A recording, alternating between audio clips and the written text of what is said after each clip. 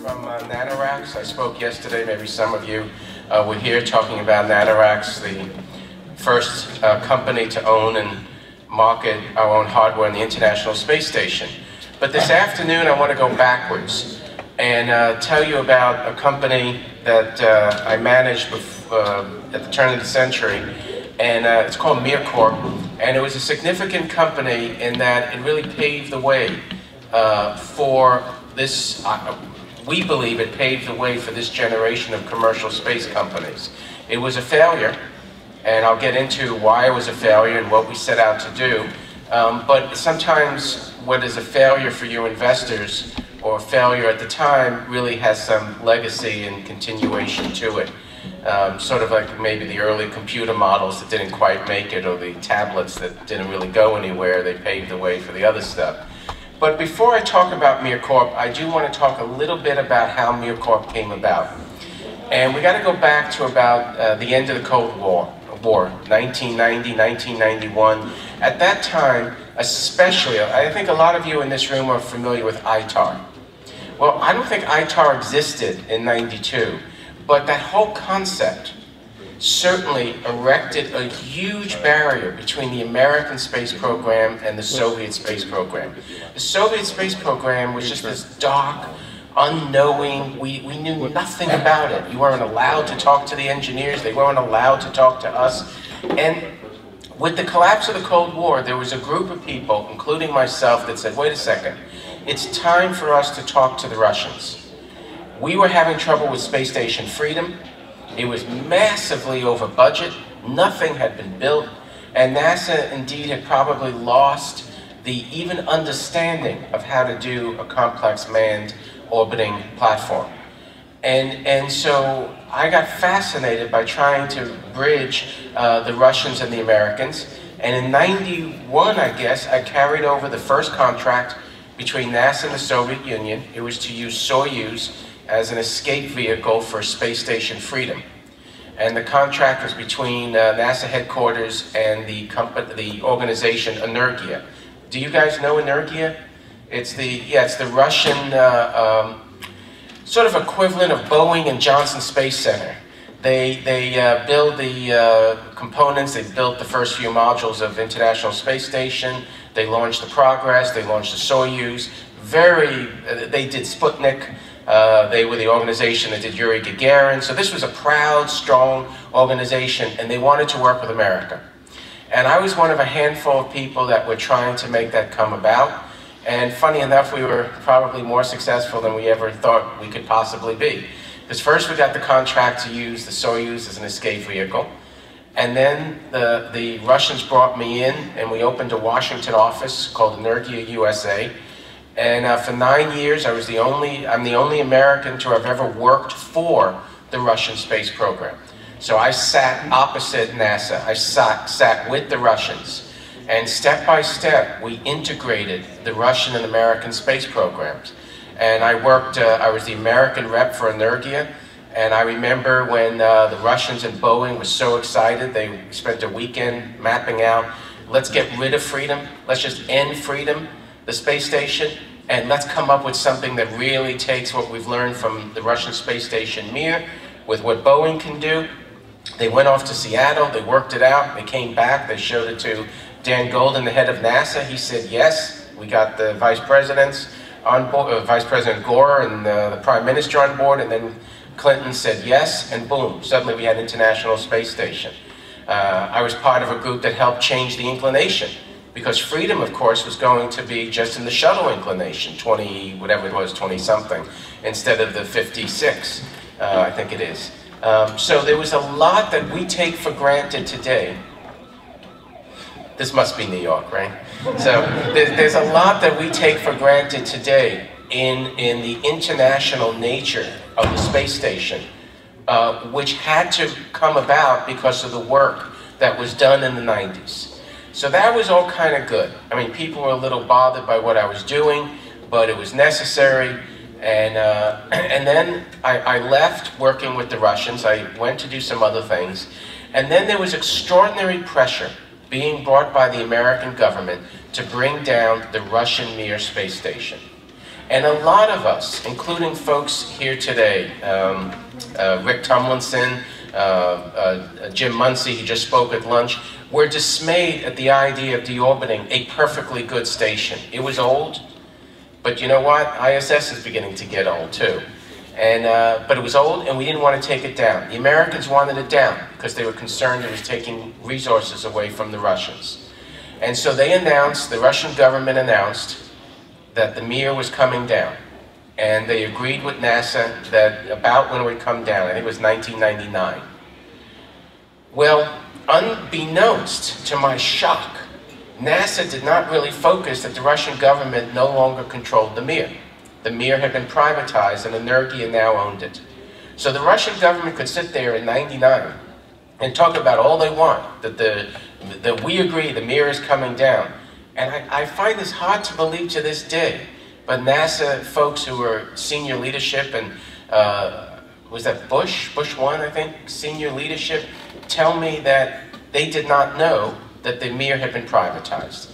So the Mir was coming down. Energia did not want to bring it down. Kind of a dramatic situation.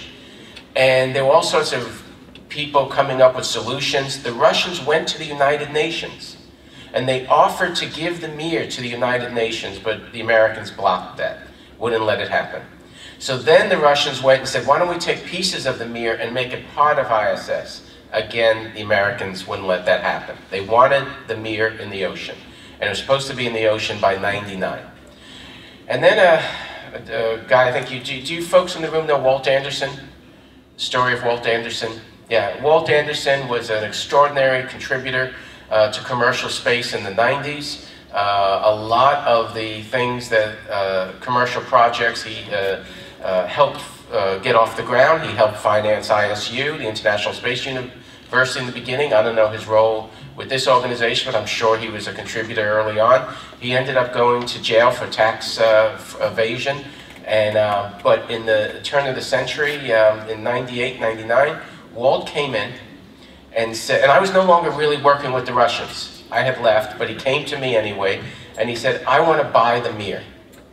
And I'm like, well, you can't buy the Mir. It's like buying the Statue of Liberty. And he came a couple of times, and Rick Tumlinson, who I think is here, is like calling me up and going, man, we can buy the Mir. Oh man, Walt's got the money, we can buy the Mir. I'm like, Rick, you can't buy the Mir.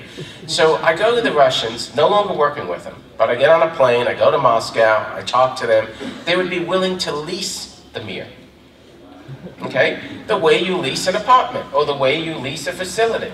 You know, and so I went back to Walt and I said, okay, you can lease the Mir. And over time, uh, very quickly, because the decision was they were launching a Progress, and that the Progress was supposed to deorbit the station, begin to pull it down. So Yuri Semyonov, the head of Energia, had to make a decision. Does he go against his government? Against his government? I mean, and, and launch that progress and boost the Mir, or does he bring it back down the way his government wants? And so, um, oops, so that gives you the background of MirCorp because we decided to go ahead and uh, uh, we decided to go ahead and, uh, in fact, I forget the date, so let's see. First, history of the Mir space. So that gives you the background of how MirCorp, the, the political scenario. Now let me just quickly walk you through MirCorp. So first, first off, um, the Mir space station. Are you guys familiar with the Mir space station? Not really. Okay. It was the world's first permanent uh, home in space. And uh, far more than, uh, than uh, ISS, it was a home.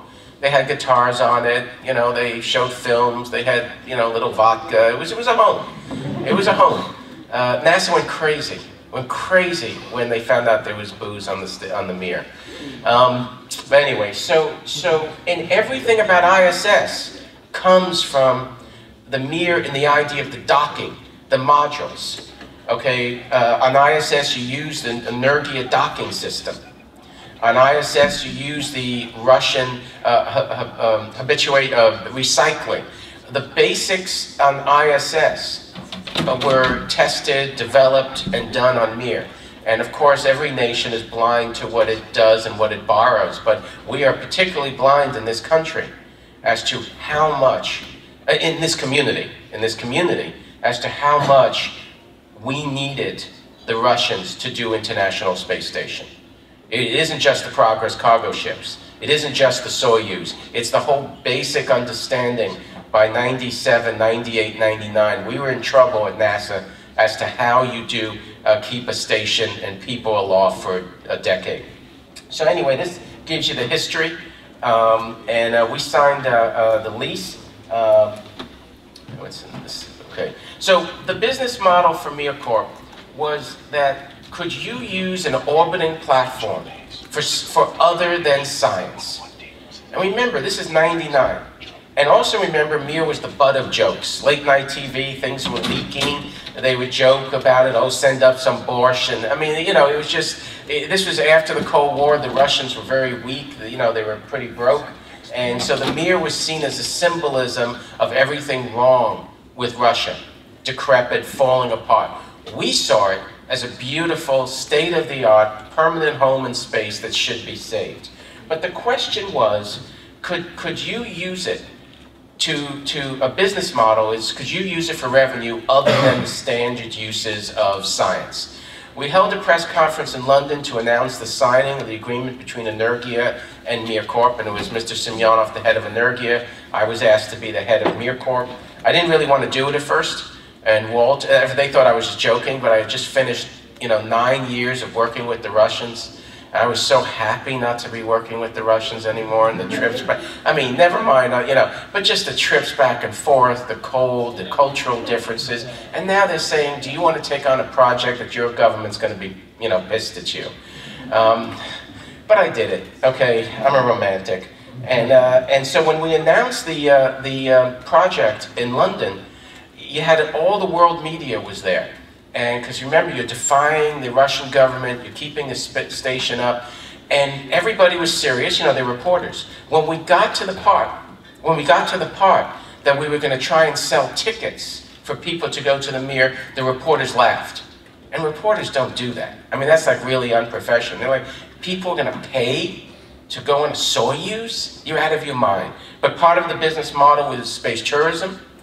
Part of it was media and some science.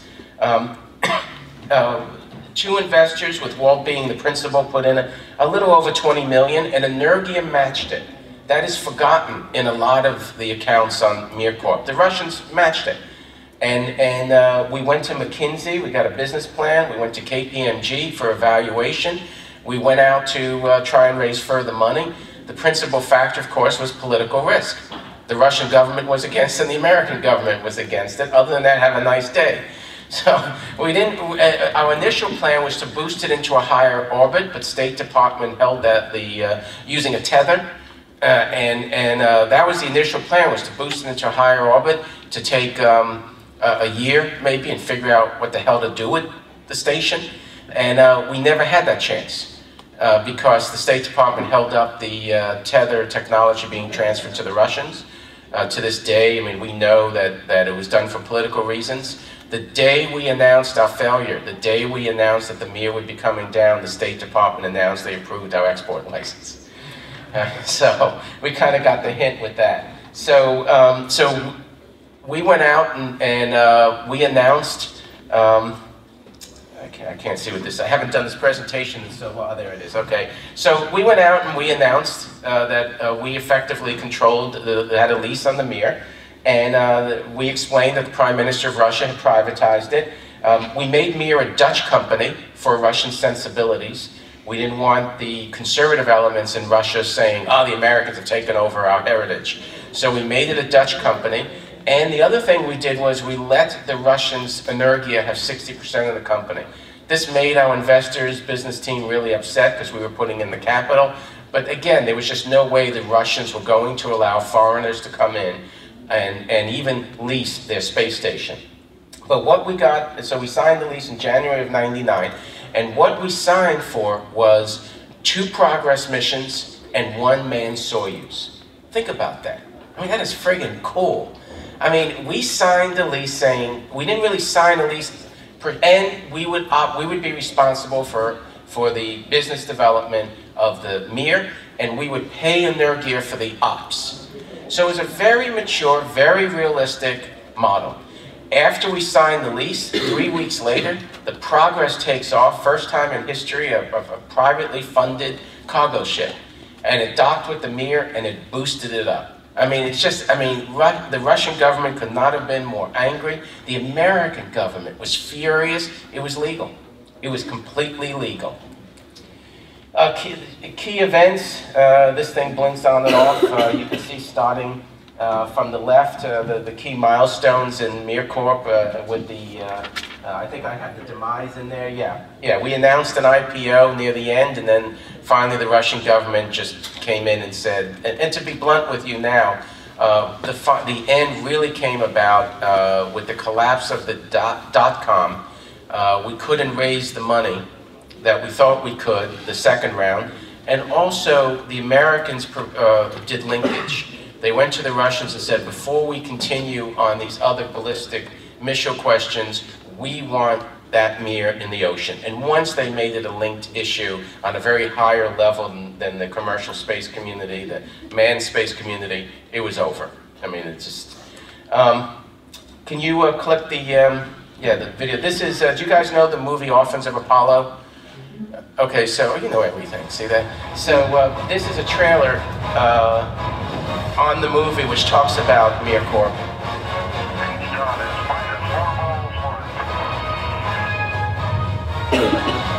Government spent billions of dollars going to the moon. They got there, um, and you know, just as they got there, everybody got color television sets, and they got to the moon. It was pretty well black and white. 1972, Apollo 17, last mission on the moon, and during the Nixon administration, shut it down we, as Apollo's children, felt we were Apollo's orphans. We had been left out in the cold.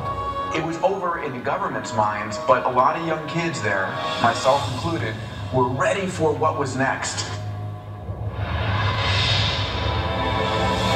Right chemistry, the right mix. The that's right Walt Anderson. That's Michael Potter to his left. To his right, the producer of the movie. That's Walt. The craziness. Okay, a whole lot of craziness. That's some of Walt. Right, that's Rick Tumlinson with Walt. Let's change the future. Walt pulled together an ad hoc group of people that he knew, and it wasn't so much a company, it was more kind of entourage. I take great umbrage on that statement that it wasn't a company. Makes for an exciting documentary. Negotiate a deal to open a frontier in a place that felt like a frontier at the time. Here you had a serious situation to take over the manned space station. Would you like the space station? Because I think we can get it. We had a mega business plan that was going to grow into probably the biggest business plan ever. The audacity of leasing a 130-ton space asset and privatizing it is, is the realm of science fiction The extraordinary moment when they opened that hatch on our mission. That was Dan Goldin, NASA administrator. He was not a happy boy.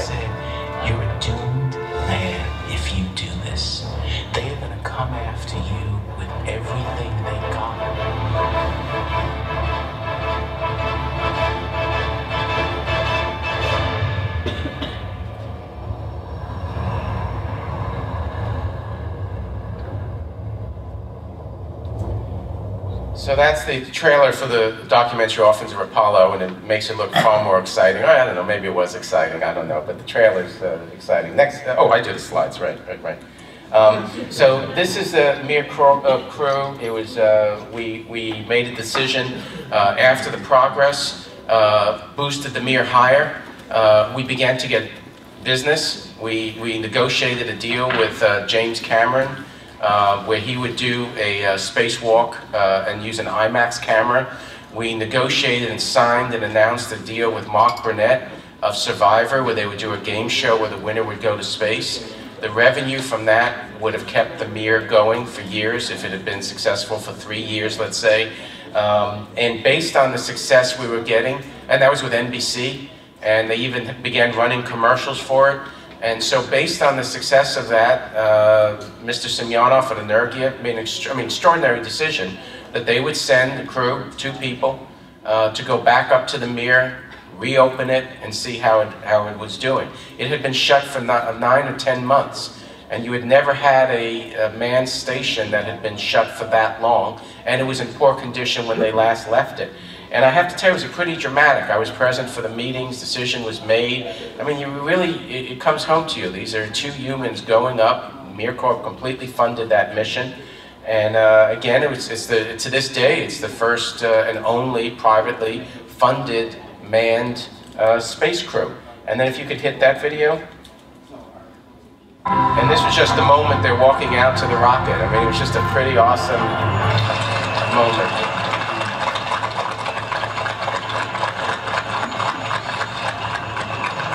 And afterwards, we did a private ceremony when they returned. This gave also them- a tradition. Open their readiness to take off. 115 cosmonauts have gone into space from Baikonur. The Latin is the 116th.